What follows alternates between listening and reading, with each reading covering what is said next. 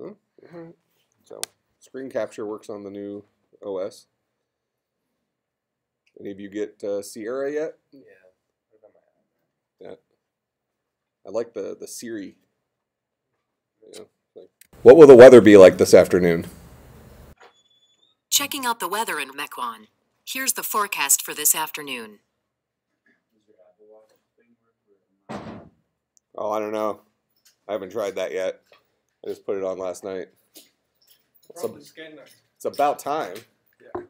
I tried to scan this one and you don't even have one.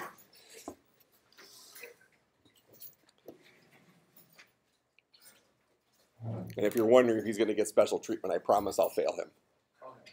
So I'll redistribute his points to everybody else. That, that's fair? Yeah. All right. All right. Yes, that's all I know how to do with Siri right now on the on the computer. I mean, I've been using Siri for years on the, the watch and stuff. But do I know how to close this? Yeah, uh, the, X didn't seem to be working.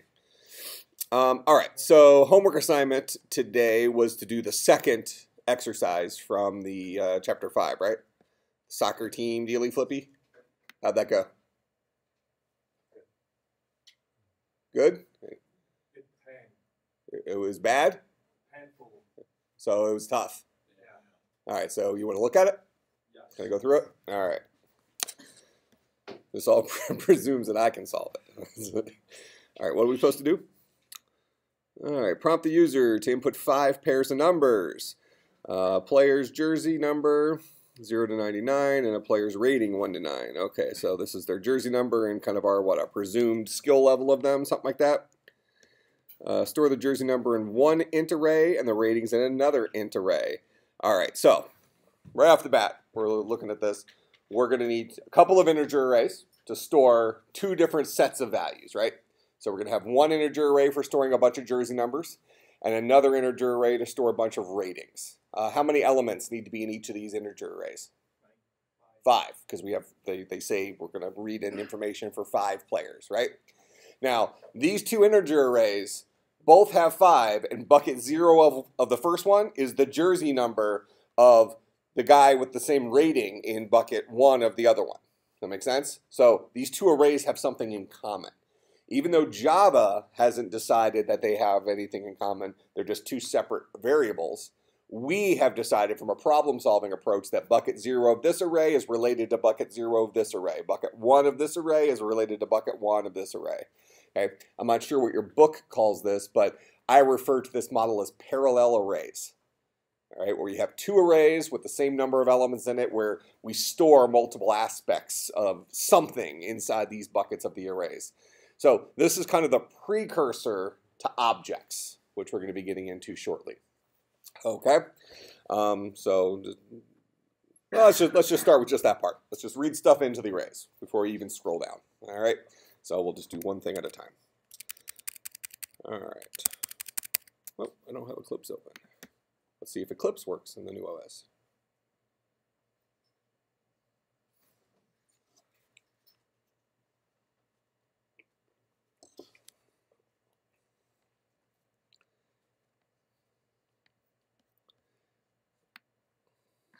All right.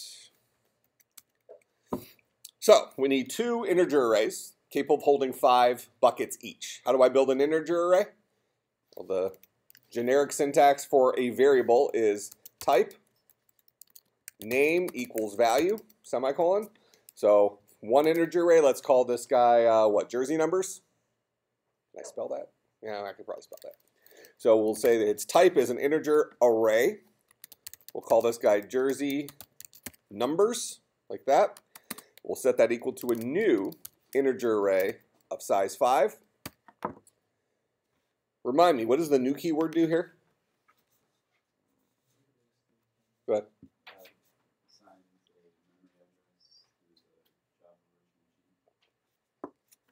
Okay, so this is kind of like our real estate agent. Goes out and finds us enough land. How much land do we need for this guy? How much memory do we need for this particular array? Okay. Not five bytes. Five something. What am I holding? I'm holding five of what? Five ints, okay. And how big is an int? 32 bits or 4 bytes. Okay? So I need a total of 20 bytes of memory, correct? Okay, and that memory has to be contiguous. What does that mean? Next to each other. Okay, and why do I need contiguous memory? Okay, so I need contiguous memory because it's an array? I, mean, I, I guess that's true. It's kind of a circular, becomes a circular argument. Arrays have contiguous memory. Well, why do you need contiguous memory? Well, because it's an array. All right. So why do how do how do arrays benefit from uh, requiring contiguous memory?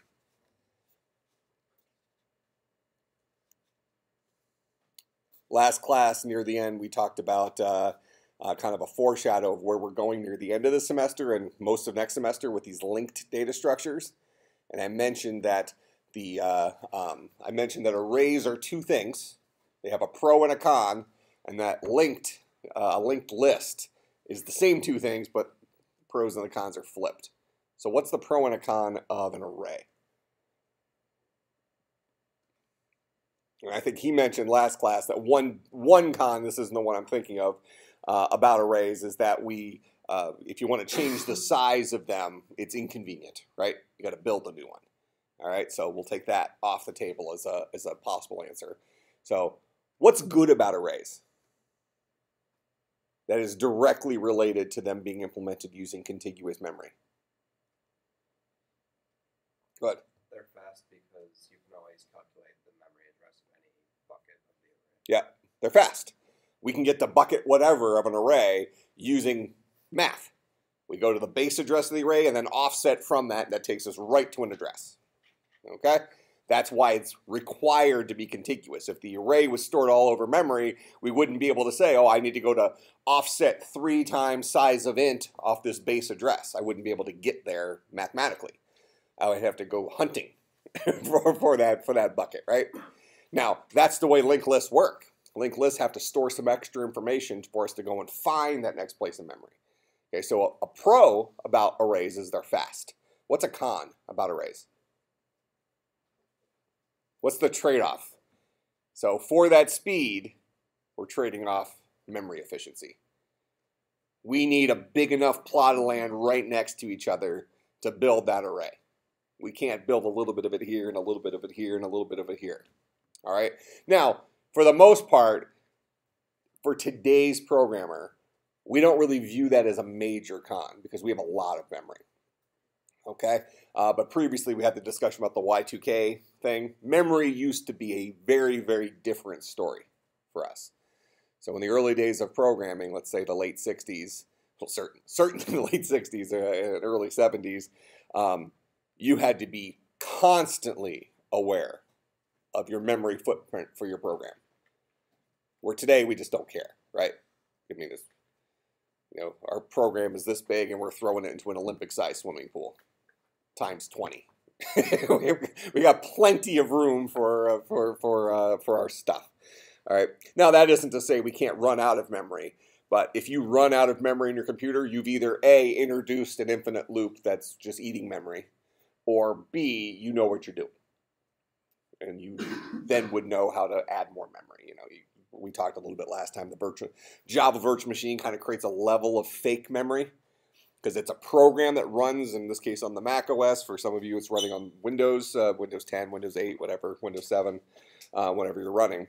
So it's running on top of that operating system. So that operating system manages the pool of memory. And then on top of that, you have the Java virtual machine, which manages its own fake pool of memory, which directly relates to real memory. All right? So it has to grab that chunk of memory.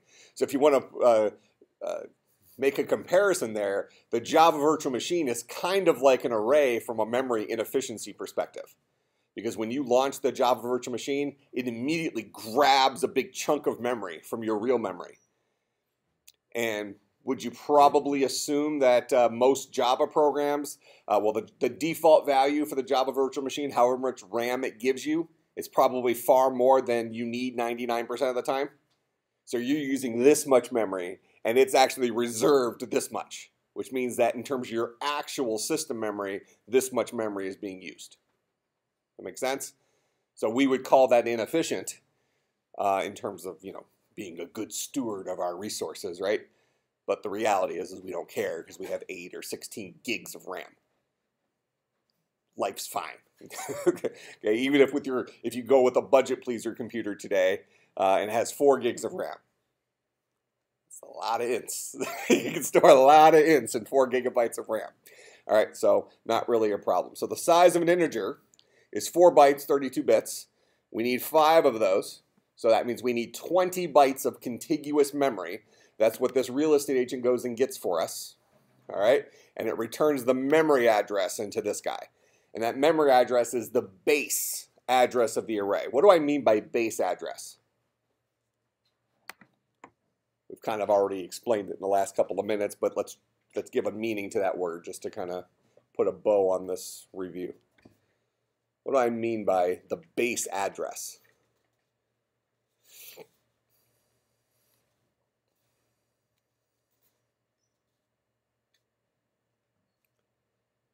Is this a 10 a.m. thing or a quiet group thing?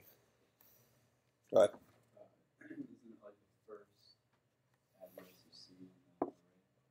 Okay. It would be the first address. I use the example of 100. Yep. So, okay, so why would we call it the base address? I mean, you're right. It, it happens to coincide with the first element of the array. But why specifically do I call it the base address?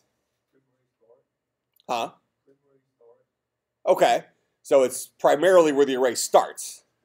All right, but I'm still calling it the base address.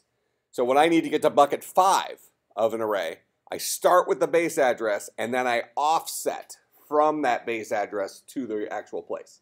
So the base address or our starting address, I guess, would maybe be a, a is that a clear name? It's not the it's not the historically correct name for computer science, whatever, but you know, the base address of something is your starting point, and then we offset from that. And usually, thing well, I say usually, I can't think of an example when this isn't true, so let's just say always. Um, something that has a base address would rely on contiguous memory. Actually, I already have an example, linked list. Linked list would have a base address, I guess technically, which would be the very first element in the list. And they're going to point to another place in memory that it doesn't have to be right next to it. So, but I, I don't know. I don't know if they call those base addresses or not. Okay, so we have our first array here. Then we're going to have a second array. So int array, and what was this guy for? Player rating. And this guy's going to be a new int array also of size 5. Okay, and um, now we need to read some crap in from our user, right?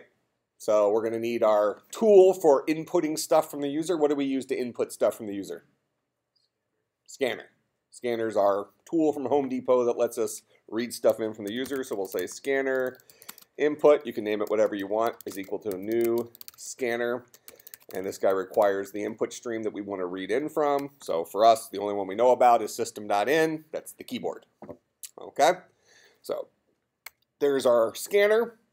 Uh, then we want to ask the question, well, we want to read in stuff five times, right? So when I want to repeat something multiple times, what do I do? I need a loop, okay? And you said a for loop specifically. Why a for loop? What kind of problem does a for loop lend itself to? Counting. Counting type problems. Problems where we know how many times we want to loop through. In this case, we know we want to do something five times. So we're going to use a for loop to go through five times. Make sense? What kind of problem does a while loop lend itself to? Yeah, where we don't know how many times we have to spin through. So like press any key to continue. how long will it be till we press the, well, what's the old joke? Press the any key. Well, where's the any key? You know, might be a second, might be 10 minutes, might be never, right? Like in my office right now, I'm upgrading to Sierra. It's probably already waiting for me to hit that next button. Who knows when I'm going to get back there to hit that button. All right, so we're going to go ahead and write our loop. So we're going to just create our kind of our stock loop to do something five times. So for int i is equal to 0, i is less than 5, i plus plus.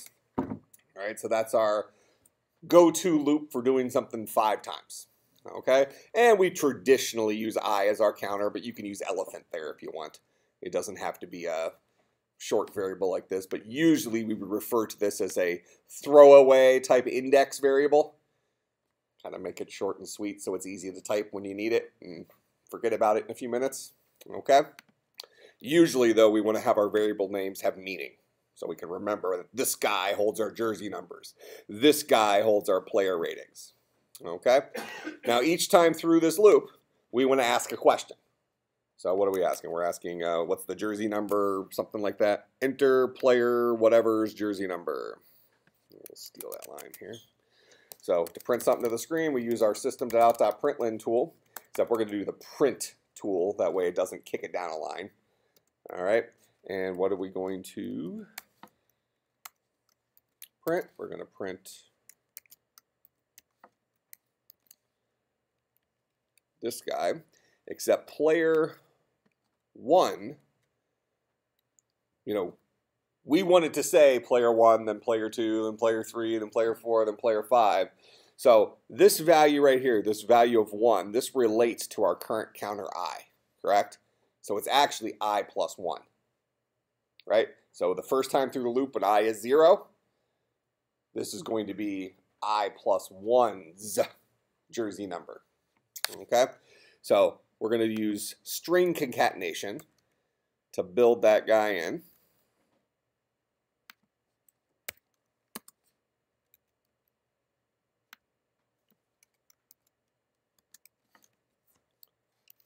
And in here, we're going to say i plus 1.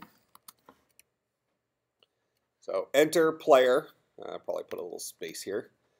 And this will resolve to whatever the value of the current value of i is plus 1. So if i is 0, this will boil down to 1. If i is 1, it'll boil down to 2, so on and so forth.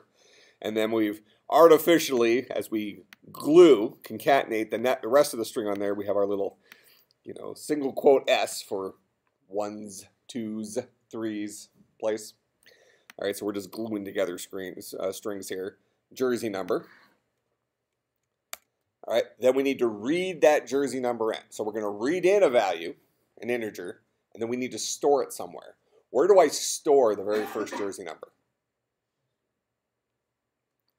So I've gone to Target and I've bought two little organizers here, right? Shoe bench, desk organizers, I think what we were using last class, right? So I bought two five bucket organizers. And I'm grabbing the very first jersey number. Where do I put it? Jersey bucket, jersey number bucket I, or the very first one would go bucket zero, right? Yep, but you're right. It's going to be I. So I'm going to take that jersey number that I read in. I'm going to go to my organizer. I'm going to stick that value in the very first container. Make sense? In the very first container, we index as bucket zero. So a five bucket container has bucket zero through bucket four. So we're going to say jersey numbers at bucket I, because I will be zero the first time, then one the second time, then two the third time, so on and so forth. So jersey numbers at bucket I is going to equal input dot next int. So that'll read in an integer. So this guy reads an integer in, and ultimately this will resolve to the value it read in from the user. All right, and similarly, this guy right here does what's called blocks. It's a blocking call. Let's uh, just give them an answer to that real quick.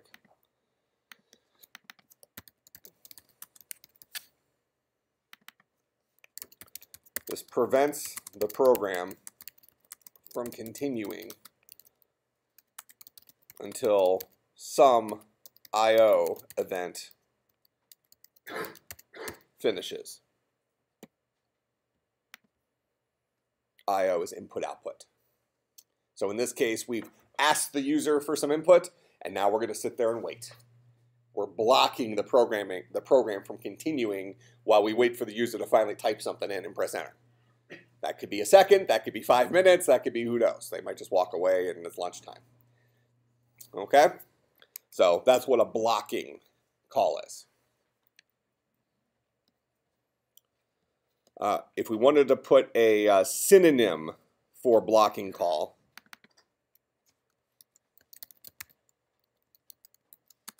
I'm going to say it's a synchronous call. That's not going to be all that meaningful to us right now, and it actually might not be that meaningful to us in this course. But um, throughout your computer science career, we, as we start writing more complex things, we're going to start thinking about doing some things asynchronously, the, the opposite side of this, which means we have more than one thing happening at once. Okay, so asynchronous call would be a non-blocking call. It's like, okay, well, I'm going to get some stuff from you, but while I'm waiting on this, we're doing some other stuff over here. And for that, we use multi-threading and uh, other things. So not really um, applicable to us right now, just maybe in your, your trivia brain, connect these two words to each other because they're related. Okay? Um, so having said that, um, well, I don't know. What I want to say is I'll never quiz you on the word synchronous, but then you might not connect the two words. Um, I very likely won't ask you for the word synchronous. Okay? I'm much more interested in you understanding the concept of a, a call that blocks. Okay? But do relate these two somewhere in your mind. Okay? Any questions on blocking and synchronous? Kind of get what that means? We Or, talked about it in 200 okay, yep.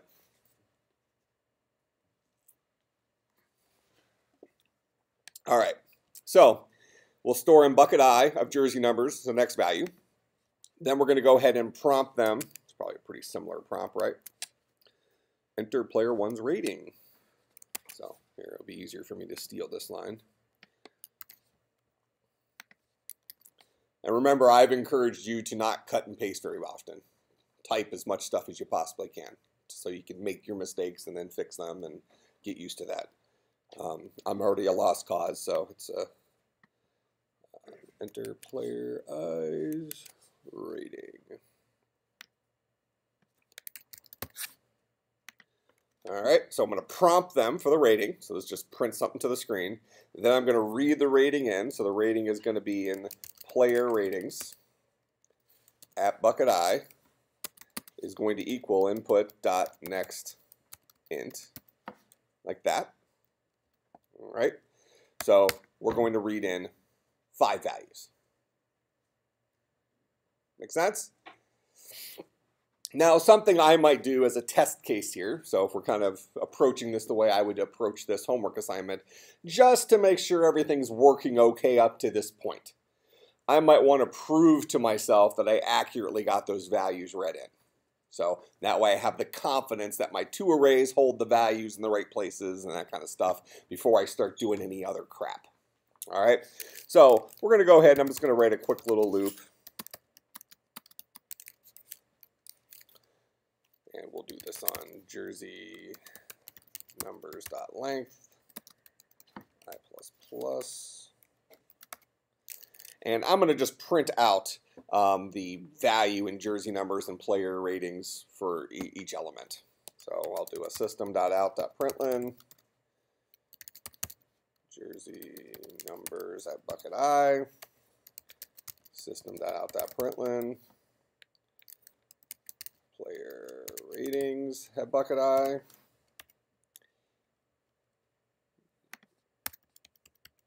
Okay so after I've read everything in, I'm just going to spin through again and uh, print everything out, proving I read it in. Now, why am I allowed to use I again when I used it up here? Didn't I already use a variable name I?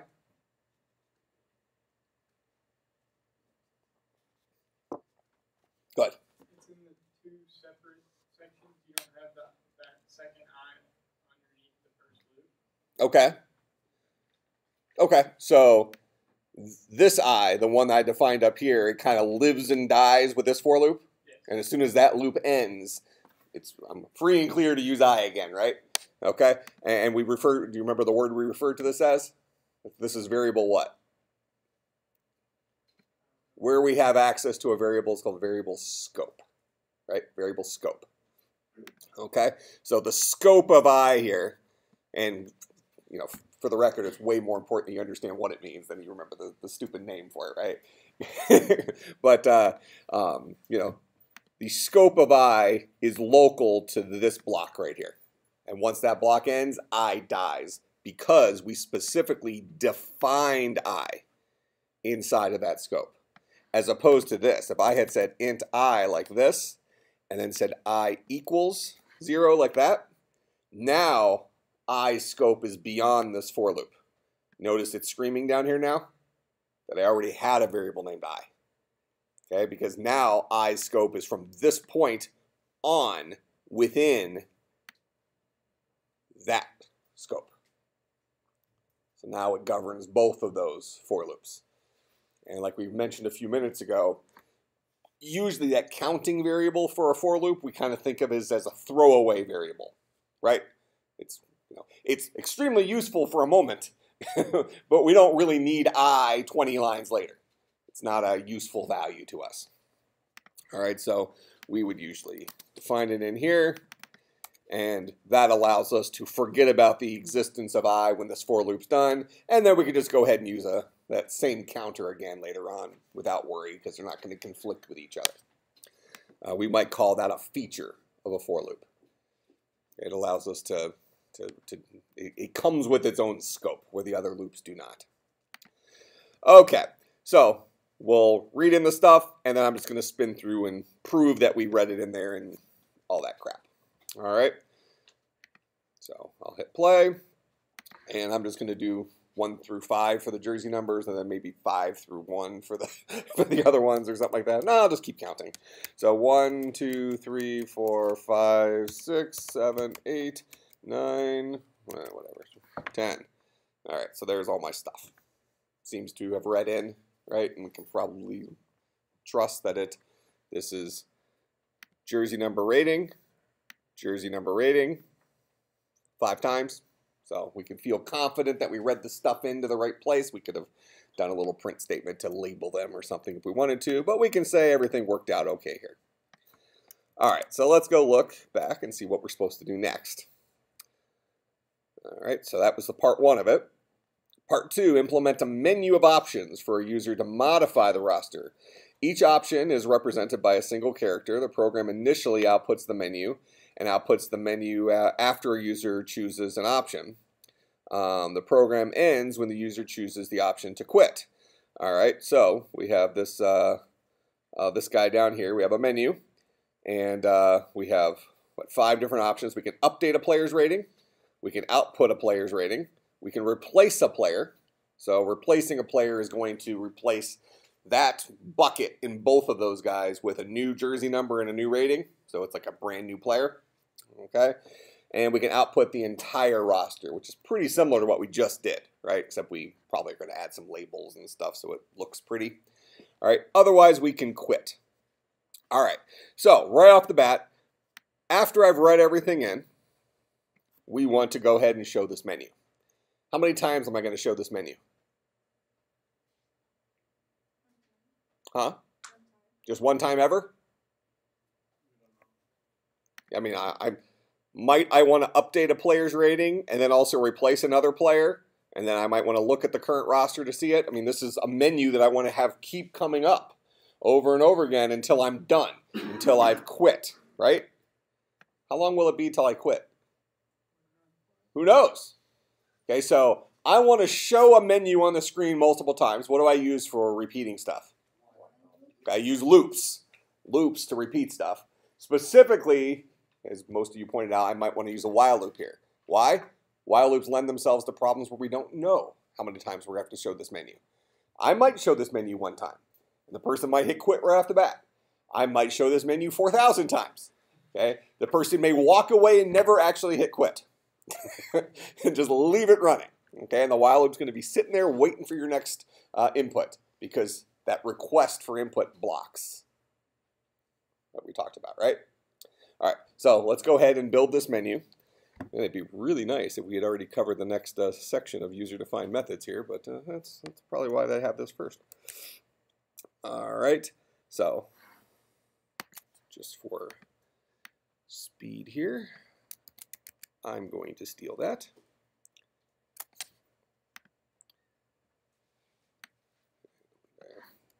Dump this guy here. So we're going to say um, before I wrap this in a while loop, well, let's we're going to need a Boolean expression. And this Boolean expression is going to allow us to do something multiple times until something occurs. Okay? Now, in our case, we want to keep showing this uh, menu until what happens? Until the user selects Q. So we're going to keep showing them the menu over and over and over again, asking them for which option they want until they finally choose the option Q. Make sense? Okay, now, what's the minimum number of times we're going to show this menu? Once. Now, you've mentioned that we should use a while loop. We have a third kind of loop. What's the third kind of loop? Do while loop. What kind of problems do do while loops lend themselves to? When something has to happen at least one time. How many times does this guy have to happen? At least one time. So a do while loop is actually probably the better choice for this, isn't it? All right, so we're going to say do something, okay, while something else is true. But that something is going to happen at least one time. All right, so I'm going to go ahead and throw our menu options in here.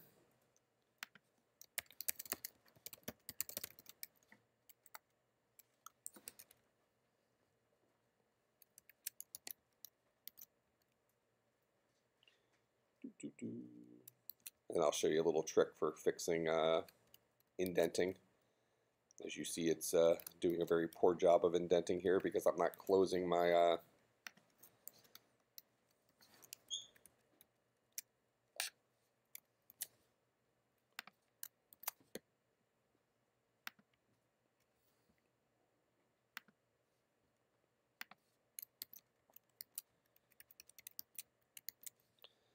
All right, so I'm going to go ahead and highlight all this. So now I've properly formatted it, right? I'm going to right click. I'm going to go to source. I'm going to do correct indentation. You can also do on a Mac, you can do Command I. I'm pretty sure it's Control I on a PC. And that'll clean it up for you. Make sense? Again, one of the features of why we use something like Eclipse rather than like Notepad. Little things like that. It's a text editor on steroids for programming stuff. All right, so this is going to show our menu on the screen, but we actually need to read in our answer, right? So after we show a menu, we need to say, okay, what, do you want? What's your choice? Do they tell us what the prompt should look like in here? Ah, choose an option. This guy right here. And that should probably be on a print line, right? Not a not an ln, just print to keep it all in the same line. Don't ha- you don't have to do that, but probably makes some sense. System.out.print. So we'll have choose your option. A little space after that guy. Then we need to actually read in the option. What tool do we use to read stuff in?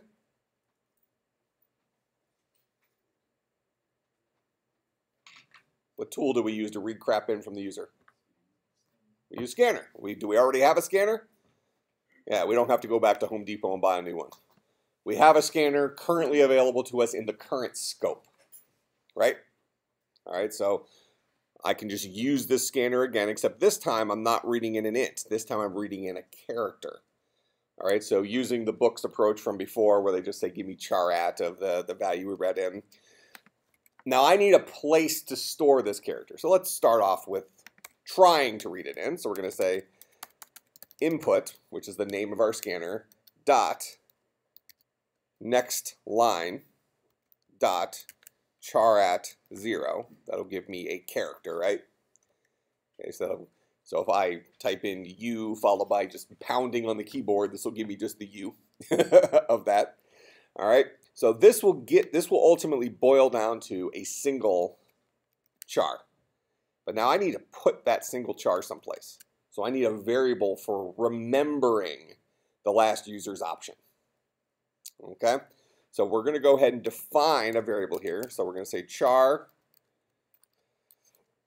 let's just call it option, And we, need, we can initialize this. Um, so why don't we go ahead and start it off as like the question mark. Okay. No options have been put in yet. Doesn't actually, um, you know, actually we, we don't actually need to give it a, a default value in this case. We'll just say char option like that. This will be okay. So I'm going to go ahead and I'm going to say option is equal to that. Okay? So I've given myself a place in memory to remember the option that was entered. I'm going to go ahead and set option to the current option. And then I want to repeat this menu as long as what happens. I'm going to have to do some other stuff in here. So I'm going to, you know, we're going to have to respond to the option here. So depending on which option they type in, I need to respond to it. But then I'm going to potentially show the menu again. And I want to keep showing the menu over and over again until they finally type in Q for the option. So I want to keep repeating this loop while what is not true. What's my Boolean expression here?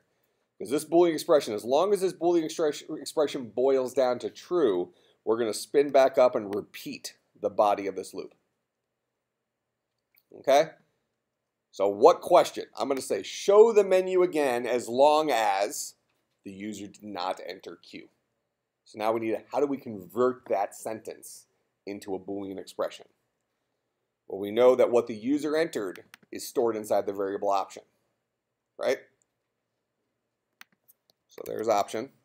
And as long as that is not equal to the char Q. So as long as they did not type in a Q, we're going to spin back up and do it again.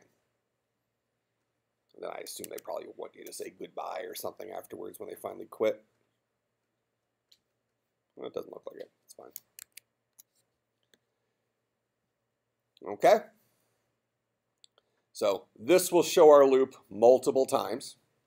So let's go ahead and test that. None of our options are going to do anything except Q. In fact, just for our own sanity, let's just do a system.out.println get lost. That'll be our going away present for them.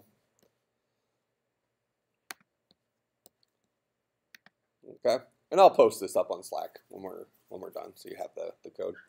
So enter player one's jersey number. Uh, we'll just do our one, two, three.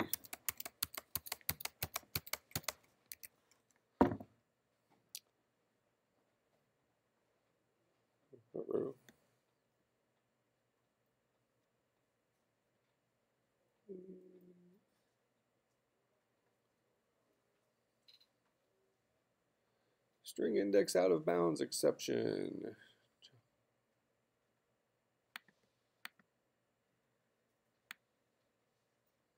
Oh, I must have pressed enter an extra time. Because that thing blocks. One, two, three, four, five, six, seven, eight, nine, ten. Oh, this guy should block, shouldn't it?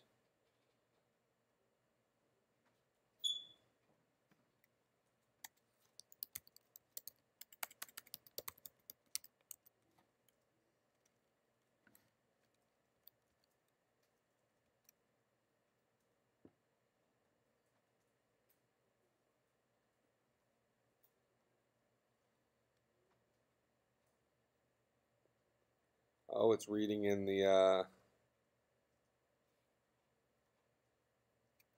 interesting, okay. Let me just test this real quick and then I'll tell you how this works.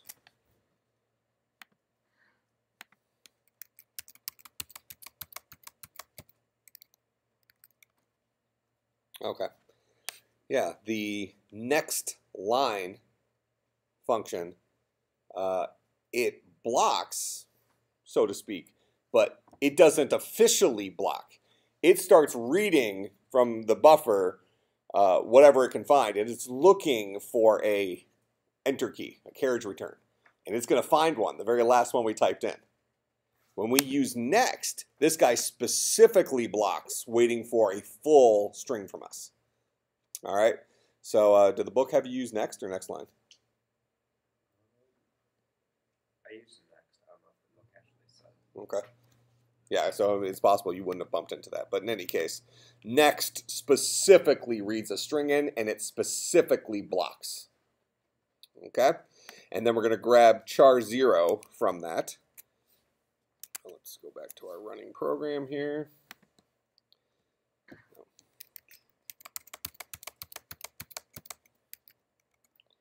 All right, so if I type in anything other than Q, so there's U, it's going to show it again. There's A, it's going to show it again. There's R, it's going to show it again. O, it's going to show it again. Now I type in Q, says get lost. That's when I broke out of that loop. That make sense? All right, so now we have our menu structure kind of doing what it's supposed to do. So now we actually need to write our logic. We have, we've already handled the, the quit case, right? So now we need to handle what happens when we update a player's rating. What happens when we output a player above a rating? So blah, blah, blah.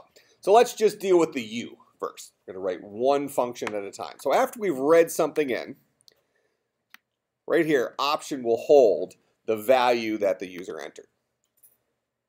We have a series of things that we can do in response to what they entered in. So how do I respond to things? How do I say, what did you, what would you like me to do? What kind of uh, structure do we use in programming to ask a question and respond accordingly?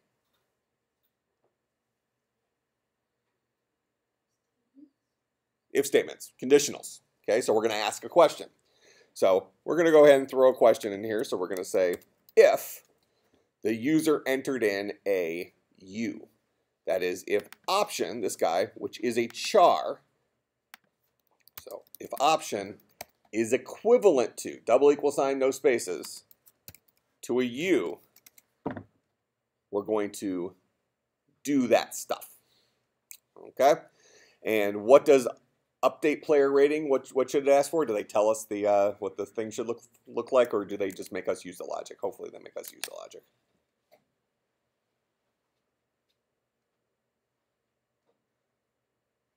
Yeah, good enough. It's fine. All right, so if we update a player's rating, that means we are changing the rater, rating for a specific player. Um, how do we uniquely identify one of our players in our uh, roster? Go ahead. By their jersey number. Okay. Um, I mean, we certainly could have taken a little shortcut here and said, well, let's update whatever player in our roster is at bucket two or something like that. But really, what we should say is, hey, I want to I want to update player uh, jersey number 74 with this new rating. That makes sense? So that means I need to be able to first I need to read in the jersey number I'm interested in, right? Then I need to search through my roster to find the position in our roster of that jersey number. Then I need to read in the new value. Make sense? All right. So let's start off by um, reading in a jersey number and then searching for that jersey number. Little baby steps. All right.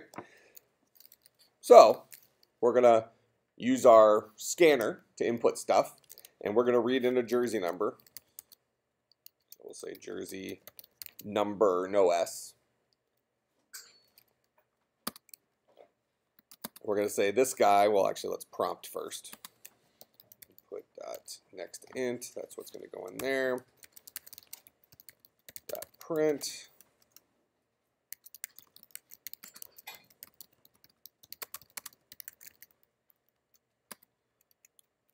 Player would you like to update? We're expecting them to uh, enter a jersey number.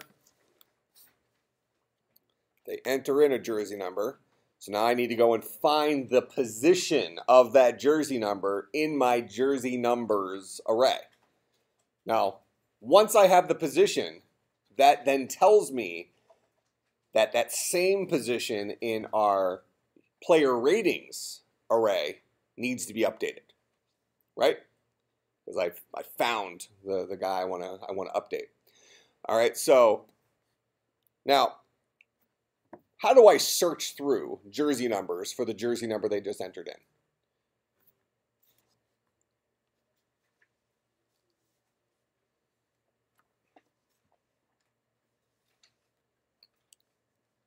I've put the five bucket organizer in front of you. How are you going to look through this organizer, checking each place for the jersey number? A loop. Okay, we know we need to go through a maximum of five times, right? A maximum of five times because we might find it early, right? So I'm going to check the first little cubby. Is, is this the jersey number I'm looking for? And next one, is this the jersey number? So on and so forth. All right, so I, I'm the approach I'm taking here, and hopefully you're, you're, you're sensing this, I'm really trying to go very slow in the little tiny problems I'm solving. I'm trying to relate it back to what you would do in real life. You will not become a good programmer unless you get good at that skill. Okay? Not being intimidated that you're writing software, but instead we're solving problems like we do every day. Okay, because we're all really good at solving problems. If I put a little uh, uh, five five uh, element uh, organizer in front of you and said, you know, find the pair of scissors, you would laugh at me like it's something stupid, right? And then you throw them at me because I'm wasting your time. Okay? Those are such trivial problems for human beings to solve. But now to break it down, because we don't even think about it. If I tell you to find the pair of scissors, you're going to glance at that thing in a in a heartbeat, and you're going to, well, there's the scissors, right? there's bucket three. Here, here's the scissors. I want us to slow down and actually think about what process did we actually go through to find those scissors? Did we glance at each of those individual buckets? You know, as short as that glance might have been, we kind of swept across it and found the thing we were looking for. But that's such a waste of our time, waste of our mental energy now. We're not, we're not even aware we're doing it. Does that make sense? That's the skill we're trying to recapture is what do we actually do when we solve problems? Okay? So I'm going to have to loop through all of my jersey numbers looking for the jersey number that matches this value right here that I read in called jersey number. Now don't confuse this variable, jersey number, with this variable, jersey numbers. Different names. Okay, jersey numbers is an integer array. Jersey number is a single integer. Okay, because I defined it as a single integer right there. Okay, so I'm going to go ahead and I'm going to uh, create my loop that's going to go through every element in my array. So int i is equal to 0. i is less than jersey numbers dot length i plus plus. Um, now, why should we use jersey numbers dot length here instead of 5?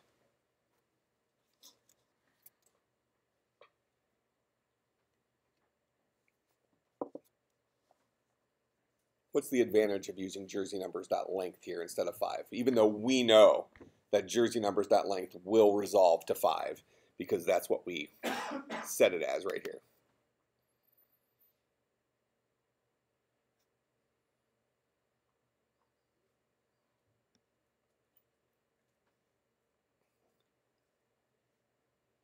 Similarly, I'm going to steal this right here. And we're going to replace our hard-coded 5 up here with that. How many times are we going to read stuff in here? We're going to read stuff in here, jersey number dot length number of times, which happens to be 5 right now. Now it's 50. So I can change the size of my array, and because my logic is based on whatever the current size of the array is, it'll still work.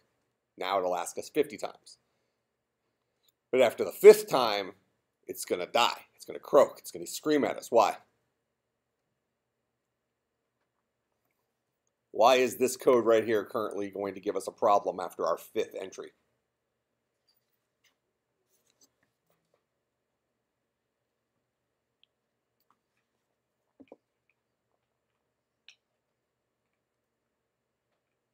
See if somebody else gets it.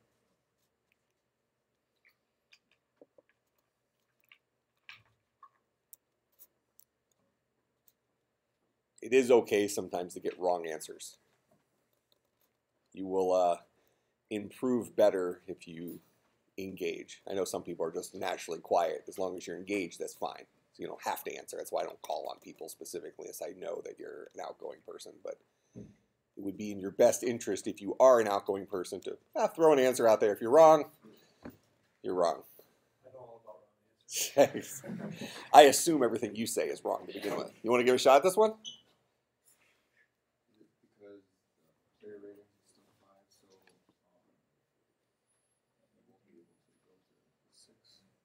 Yeah. So we're going to get that array index out of bounds exception, right? Uh, so I've broken my little my scheme of saying these guys are parallel arrays. I have all my jersey numbers here. I have all of my uh, player ratings here, and I have the same number of both of those. Except I don't. I have enough room for 50 jersey numbers, and I have enough room for five player ratings. Everything's uh, fine until we get to player rating number six and we try to put that value in there and it screams at us.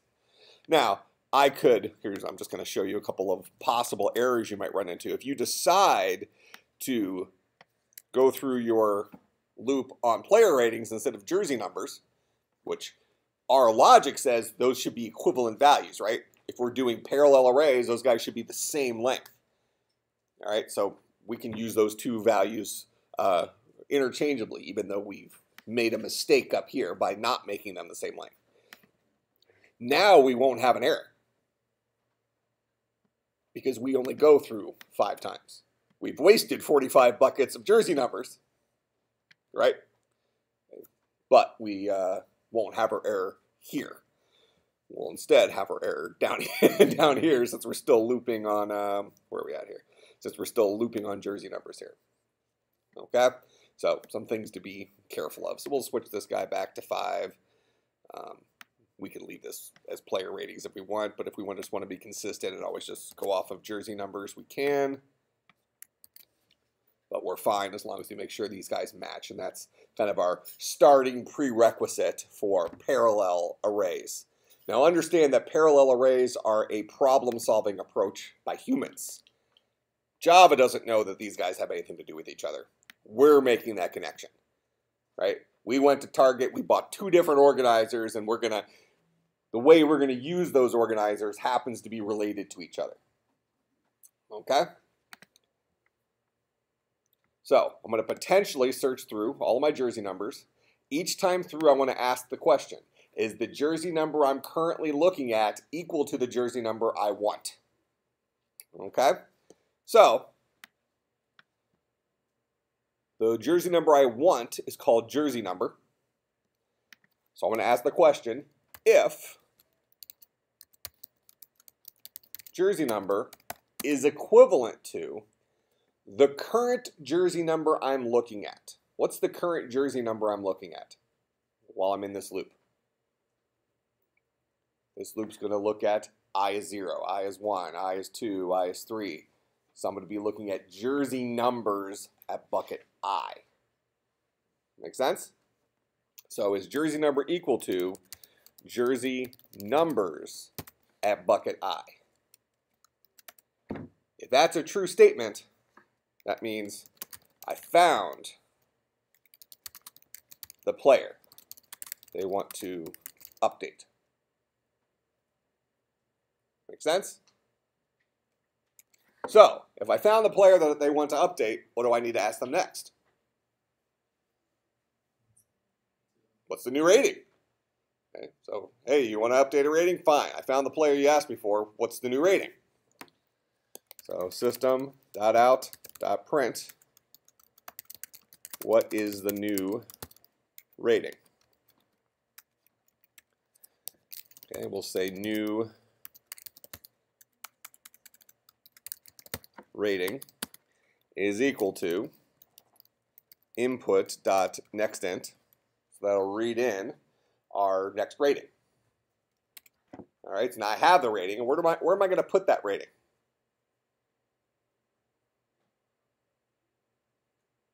I found the jersey number at bucket four, let's say. I read in the new rating. Where do I put that new rating? Bucket four of the other array, right? Our player ratings array. So did I even need this variable here?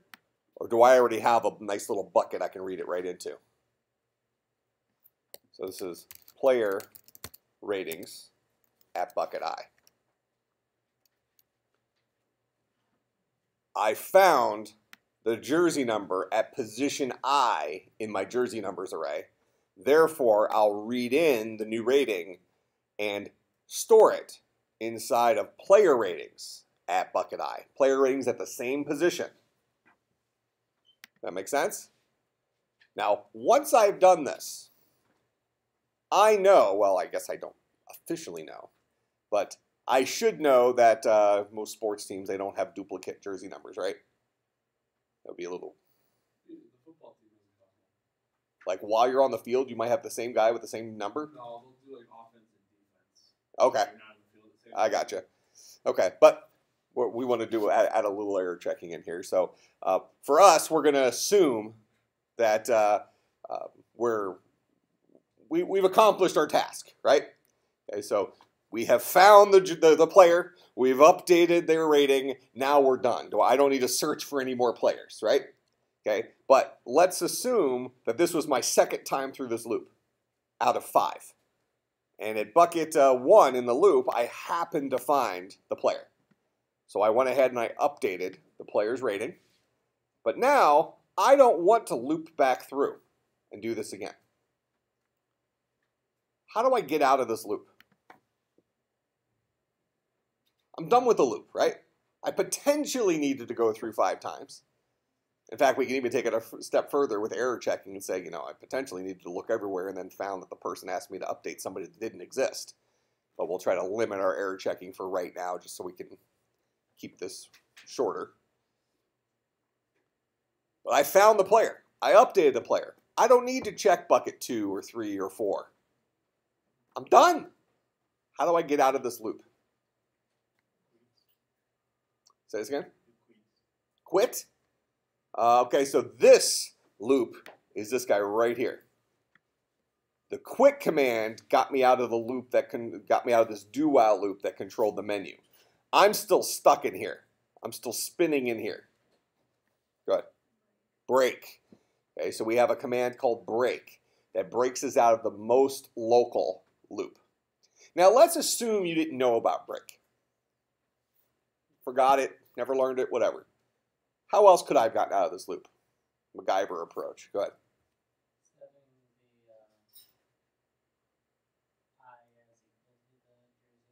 Okay, yeah. Changing I such that the next time it spins up, this fails. Right? Because for loops are pre-check loops. So we are going to check that Boolean expression before we try to do anything else. So we could have arbitrarily just set I equal to jersey numbers dot length. That would do it or we could say plus a thousand if, if you want to really you know make your point you know but that'll work. So now i is arbitrarily equal to jersey numbers dot length. We just we uh, interjected and said i'm going to do a little bit more than just a plus plus.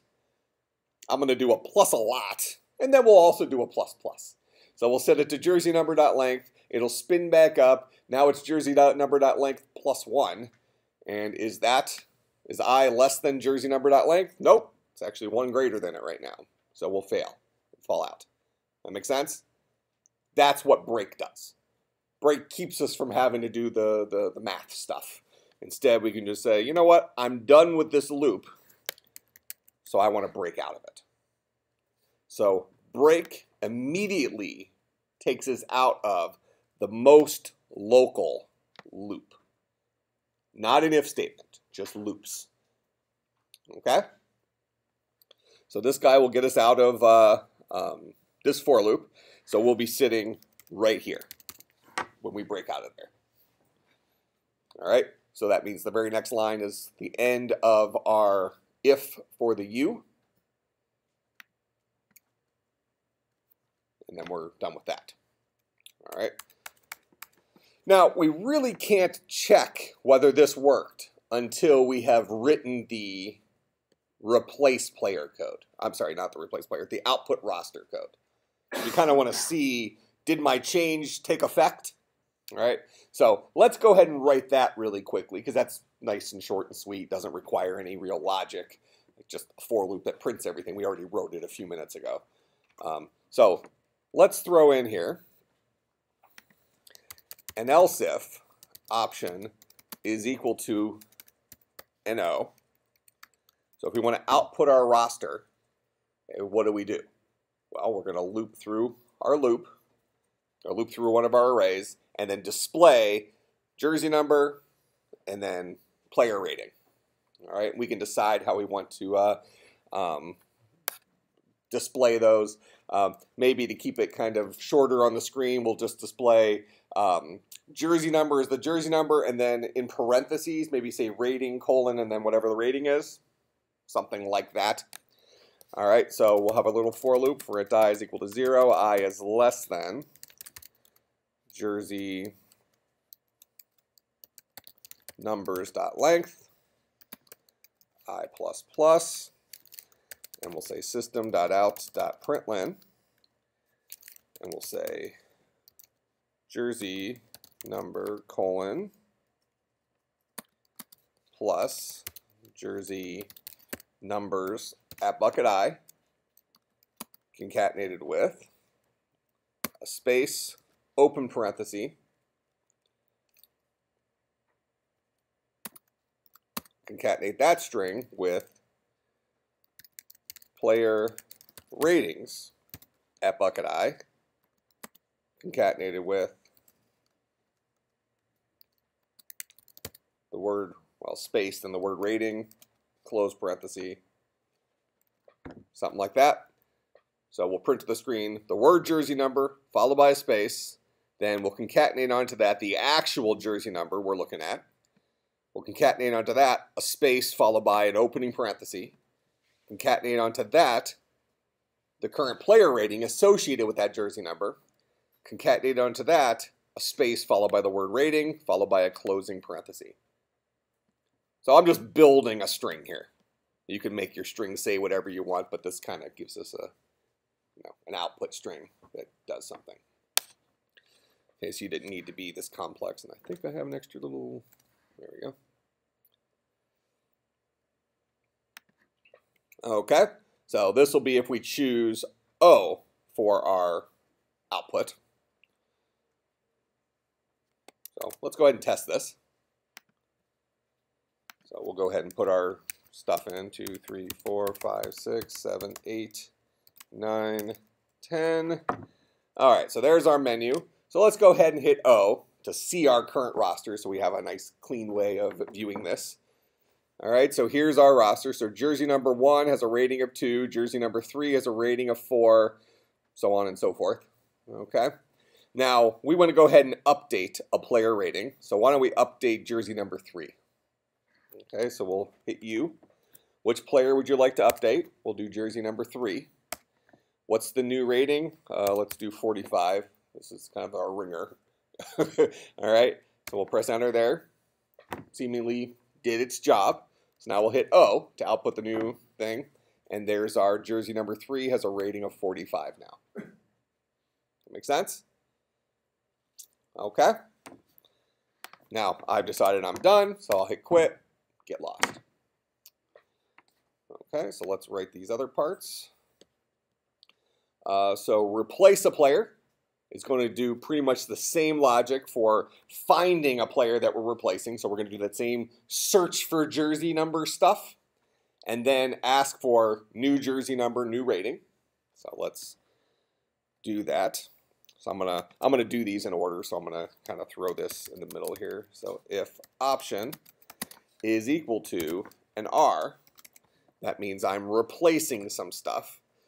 All right. So I'm gonna steal this code for a moment because I'm, I'm going to modify that a little bit. Um, again, for you, type as much of it as you can. So we're going to say, what player would you like to replace? So we'll read in the jersey number. We'll spin through, find the jersey number.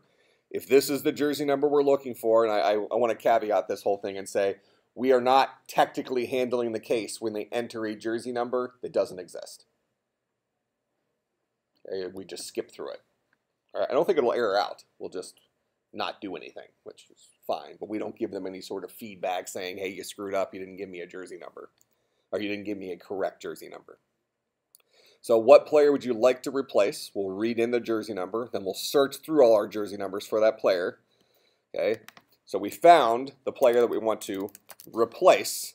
So we want to read in what's the, so basically we want to do this stuff right here. Enter the player, new player's jersey number, enter the new player's rating. And we're doing that at bucket I. So enter new.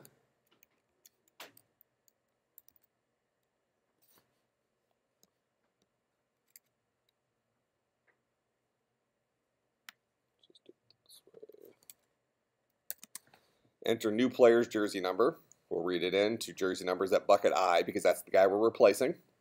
Enter new player's rating. We'll read it in, overwrite the rating, and then we'll break out. So this should give us a brand new player in there. Let's go ahead and test this. One, two, three, four, five, six, seven, eight, nine, ten. So let's uh, let's hit our output first to see our players. So let's go ahead and replace five with a new dude. So we'll hit R. Jersey number five is who we're replacing. Enter the new player's jersey number. Let's say 21, and rating is 11. So there's that. We'll hit output. So now we have a jersey number replacing the guy that used to be five with jersey number 21 and a rating of 11. Make sense? All right. So we have update working. We have output. Uh, uh, no, I'm sorry. Then we have a replace player working. We have output working. So now the last one is output players above a rating. So this guy's pretty similar to output roster, except we're only going to output the roster if their rating is larger than a certain value. Okay. So that is, what's the name of the option? That is A. Option A.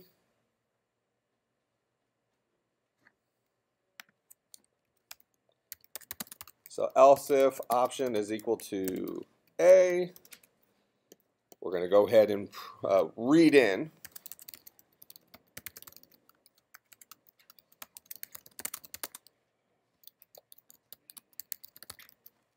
what is the minimum rating? int min rating is equal to input dot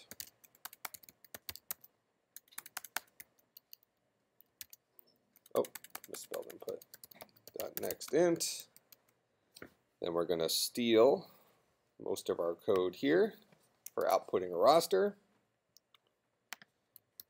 But before we just randomly output a roster we want to ask the question if player ratings at bucket I is greater than or equal to min rating, then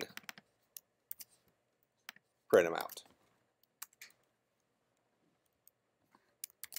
Make sense? So this will only do those guys. Let's just test it real quick. I know we're out of time. All right, so let's go ahead and uh, uh, do A, and let's do only guys above uh, 5 for a rating.